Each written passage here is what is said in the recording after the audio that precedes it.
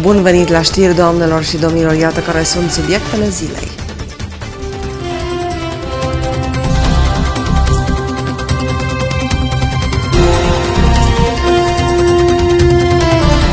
Cinci hoți specializați pe furturi din locuințe au fost prinși de polițiști. Am de zile aceștia au furat tot ce le-a căzut în mână de prin locuințele oamenilor. Acum au ajuns în fața magistraților cu propunere de arestare preventivă.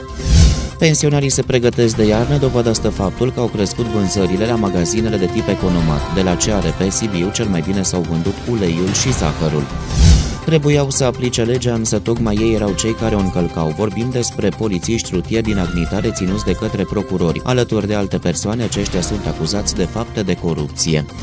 Primăria achiziționează pentru Societatea de Transport Public 10 noi autobuze. Acestea vor avea o lungime de 12 metri și vor fi dotate modern. Cinci hoți specializați pe furturi din locuințe au fost prinși de polițiști. An de zile aceștia au furat tot ce le-a căzut în mână de prin locuințele oamenilor. Cei cinci suspecți ridicați de către mascații de la Sibiu au vârste cuprinse între 17 și 25 de ani. Aceștia sunt acuzați că în ultimele luni au dat numai puțin de 30 de spargeri de unde au plecat cu tot ce le-a căzut în mână. Hoții și-au început activitatea inițial în zonele limitrofe Sibiului, cum ar fi Lunga Rășinarului sau localitățile Șura Mare și Ocna Sibiului, de unde au furat materiale de construcții și echipamente dedicate construcțiilor din zonele unde erau clădiri neterminate încă. Ulterior, hoții, originari din Ogna Sibiului, și-au restrâns activitatea pe municipiul Sibiu și-au activat în cartierele tineretului și veteranilor, dar și în cartierul arhitecților din Cisnădie. Au furat electrocasnice, butelii de gaz, undițe și chiar covoare. Acum polițiștii cercetează pentru furt calificat. Oamenii legii încearcă să documenteze întreaga activitate infracțională a acestora. Cercetările sunt efectuate de polițiștii de la investigații criminale sub supravegherea parchetului de pe lângă judecătoria Sibiu. La descinderile de miercuri au participat oamenii legii din Sibiu, Alba, Harghita, Prahova și Satu Mare. În urma descinderilor, o mică parte a prejudiciului a fost recuperată. Hoții vor afla cel târziu joi dacă vor fi sau nu arestați preventiv. Pensionarii se pregătesc de iarnă, dovadă este faptul că au crescut vânzările la magazinele de tip economat. De la Carp Sibiu, cel mai bine s-au vândut uleiul și zahărul. În luna octombrie 2017, prin magazinul de tip economat al Casei de Ajutor Reciproc din Sibiu, au fost vândute către pensionarii membri ai casei peste 10 tone de alimente. Cel mai vândut aliment a fost zahărul. De la magazinele de tip economat ale casei de ajutor reciproc a pensionarilor, membrii casei pot cumpăra orez, făină, zahăr, ulei, mălai sau griș, la prețuri fără adaosuri comerciale. Pentru a se asigura că au cămara plină pe timp de iarnă, bătrânii au început deja să își facă provizii. Cel mai vândut aliment este uleiul, cel de-al doilea cel mai cumpărat aliment este zahărul și făina se vinde la fel de bine pentru că sunt gospodine care au renunțat la a mai cumpăra pâine de la magazin și o fac în casă. Trebuiau să aplice legea, însă tocmai ei erau cei care o încălcau. Vorbim despre polițiștii rutieri din Agnita, reținuți de către procurori.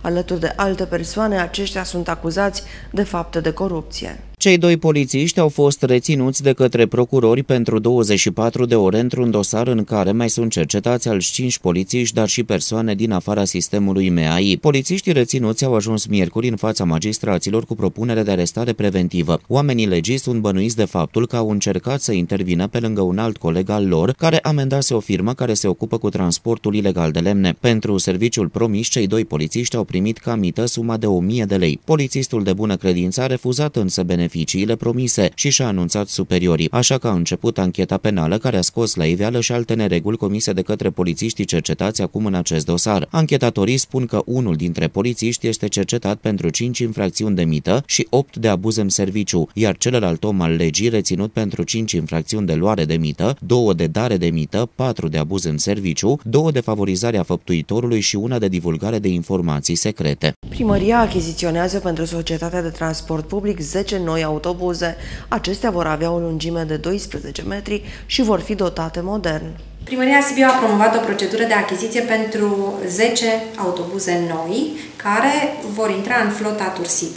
Autobuzele sunt dotate cu sisteme audio-video de informare a călătorilor, cu un sistem de climatizare și vor avea inclusiv locuri rezervate pentru persoanele cu handicap. Pe lângă cele 10 autobuze care vor fi cumpărate anul acesta, reprezentanții municipalității au un plan să cumpere alte câteva zeci de autobuze ecologice din fonduri europene. La acestea se vor adăuga și cele 50 de vehicule care urmează să fie achiziționate de către Societatea de Transport Public din oraș. Noile mijloace de transport vor avea o capacitate de minimum 90 22 de locuri pe scaun și în picioare. Se estimează că cele 10 autobuze vor costa aproximativ 13,7 milioane de lei. Acestea vor fi livrate în 4 luni de la semnarea contractului de achiziție. Noile mașini vor fi dotate pe lângă sisteme de încălzire, ventilație și aer condiționat și cu un sistem informatic ce va fi conectat la baza Tursib pentru a putea fi monitorizate în ceea ce privește timpii de traseu. Mașinile vor mai avea și instalații de numărare a călătorilor la fiecare ușă. Vor fi de asemenea dotate și cu sisteme de validare a plății, dar și cu sisteme de plată cu ajutorul cardului. Sirenele au sunat din nou în tot orașul, numai în municipiul Sibiu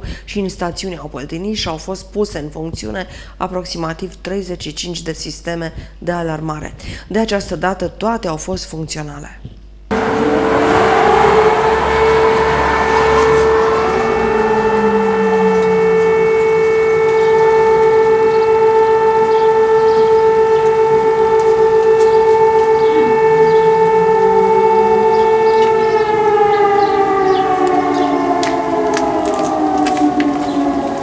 Miercuri, începând cu ora 10, sirenele au sunat din nou în tot județul, numai în municipiul Sibiu și în zona Păltinii și au fost puse în funcțiune în total aproximativ 35 de sisteme de alarmare publică. Exercițiile de alarmare sunt partea unui program național implementat de către Inspectoratul General pentru Situații de Urgență și se desfășoară în prima zi de miercuri a fiecărei luni. Scopul acestuia este acela de a obișnui pe de o parte oamenii cu semnalele de alarmă și însemnătatea acestora, dar și de a verifica funcționalitatea echipamentelor care compun aceste sisteme de alarmare. Sibienii trebuie să știe că sistemul de alarmare aeriană este compus din 14 sunete, de către 4 secunde fiecare, cu pauză de 4 secunde între ele. Semnalul de alarmare în caz de dezastre este compus din 5 sunete a câte 16 secunde fiecare cu pauză, de 10 secunde între ele. Semnalul de prealarmă aeriană e compus din 3 sunete a 32 de secunde fiecare, cu o pauză de 12 secunde între declanșările alarmei. Încetarea alarmei se marchează printr-un sunet continuu cu aceeași intensitate și cu o durată de 2 minute.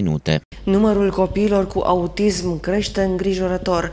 Centrele de tratament sunt mereu arhipline, iar listele de așteptare interminabile. Lista este foarte lungă. Acum avem în terapie la noi 47 de copii.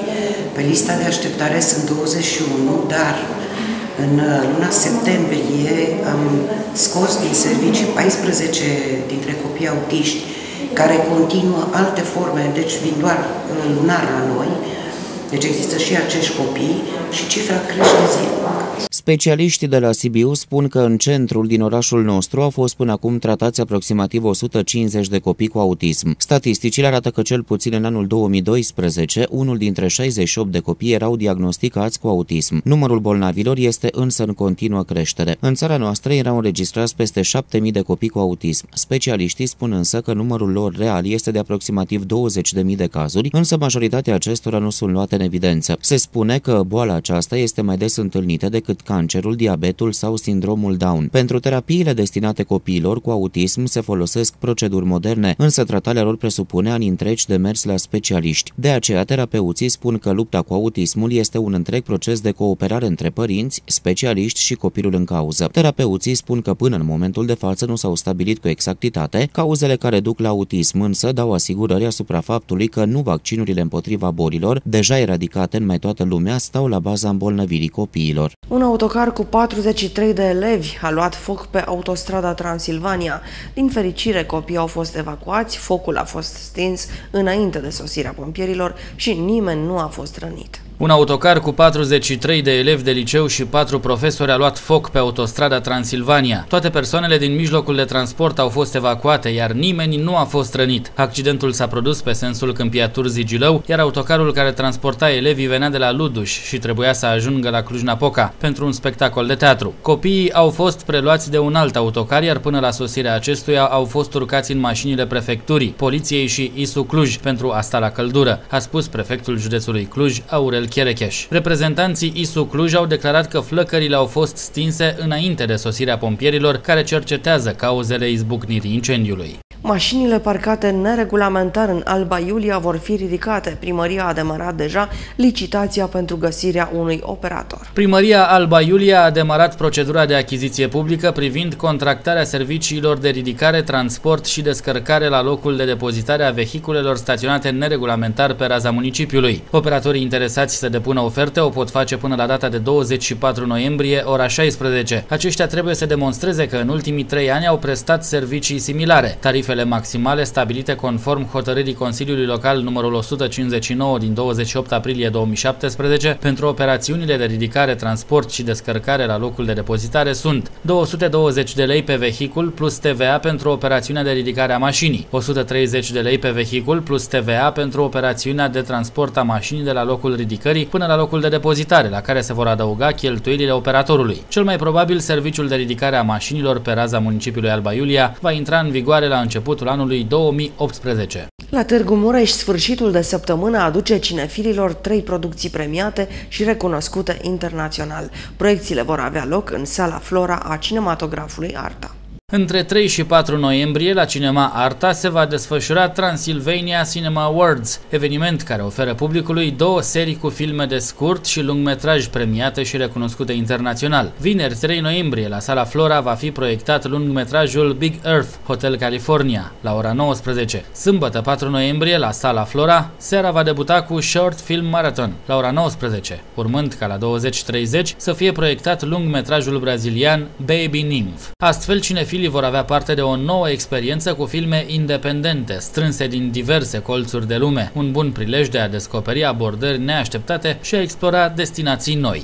Serviciul permise și înmatriculări Constanța se mută la pavilionul expozițional. Spațiul destinat serviciului se întinde pe o suprafață de 480 de metri pătrați. Serviciul public comunitar regim permise de conducere și înmatriculare a vehiculelor Constanța se va muta într-un nou sediu. Prin hotărârea Consiliului Județean în numărul 19 din 30 octombrie până la sfârșitul anului, serviciul permise și înmatriculări Constanța va funcționa la pavilionul expozițional. Spațiul destinat serviciului se întinde pe o suprafață de 480 de metri pătrați și a fost transmis în folosință gratuită către prefectura Constanța. Aici se vor susține probele teoretice, iar cele practice chiar în parcarea pavilionului. Accesul la noua locație va fi mult mai facil solicitanților cu ajutorul autobuzelor RATC care circulă în zonă, iar cei care vin cu autoturismele beneficiază de locuri de parcare. I se mai spune și ginseng românesc. Datorită calităților sale curative, cătina ne oferă un nesperat ajutor tuturor, indiferent de vârstă și afecțiuni. Fructele de cătină se recoltează la sfârșitul lunii august și în luna septembrie, când au optimul de substanțe active. În această perioadă, cătina conține cantități mari de vitamina A și C spre lunile noiembrie și decembrie, crește conținutul de substanțe din complexul B. Uleiul gras conținut de fructul de cătină este al doilea ca bogăție în vitamina E din lume după cel de palmier.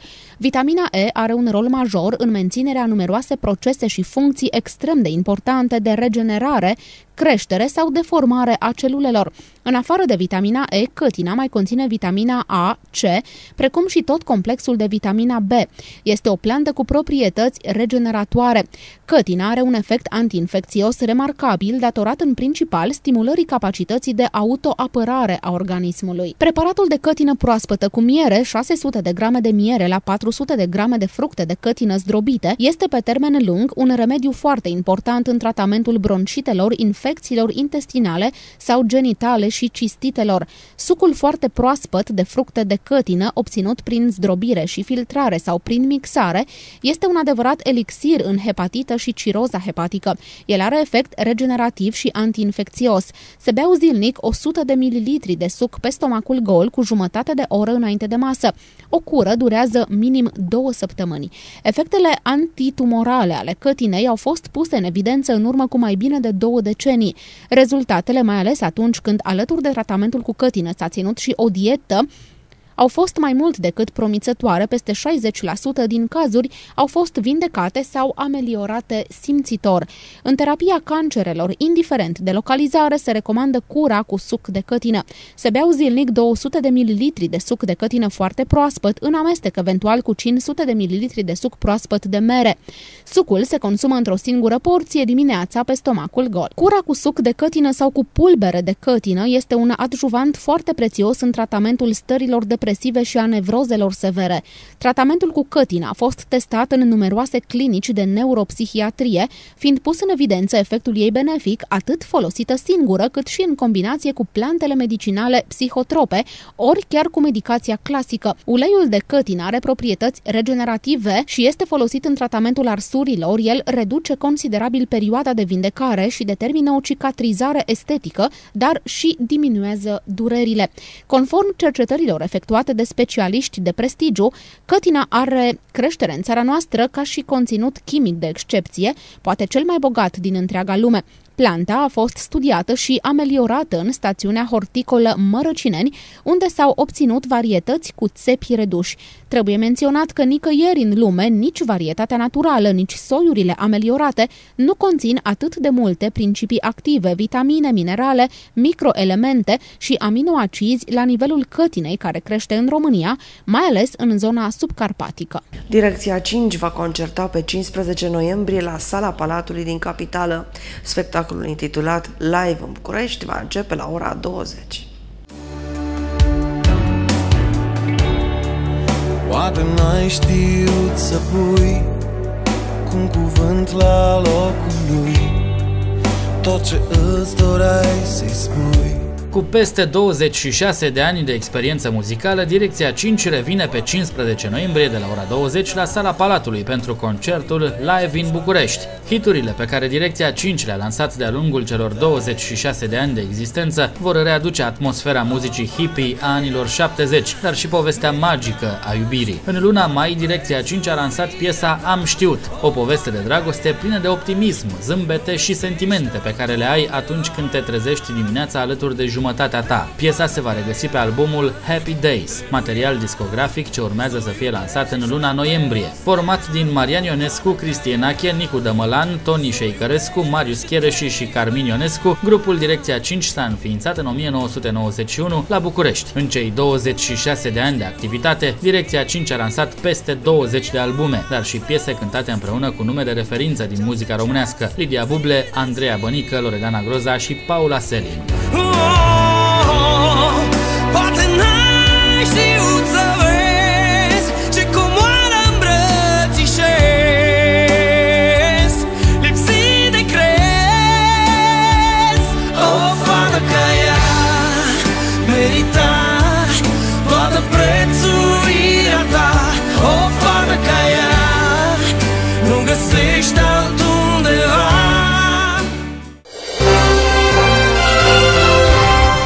punem punct știrilor, nu uitați, dacă surprindeți evenimente ce pot deveni știri, puteți trimite imagini și informații la adresa de e-mail știriarondevenimentsibio.ro Sunt Monica Chiseliță și vă mulțumesc tuturor pentru atenție, la revedere!